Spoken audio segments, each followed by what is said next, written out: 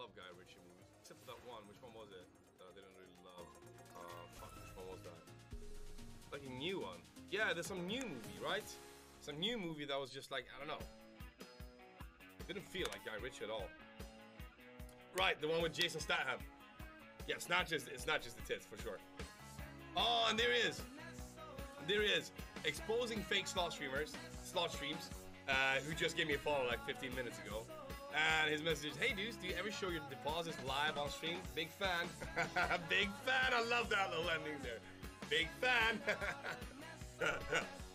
That's awesome, man. Awesome.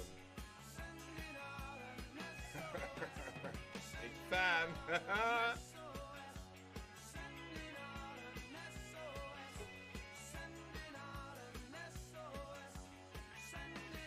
Sword and the Grail. Let's see the 100 eggs. God damn it.